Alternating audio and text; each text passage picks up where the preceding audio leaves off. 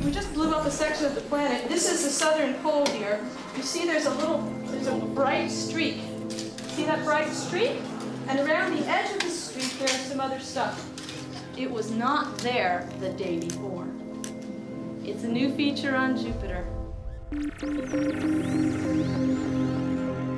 As the comet struck the Jovian atmosphere, fireballs 3,000 kilometers high erupted from the surface of the planet. The biggest impact released 600 times more energy than the entire world's nuclear arsenal. Scars bigger than the Earth were left on the surface of Jupiter. These were some of the biggest explosions that had ever been witnessed. It delivered. How about it?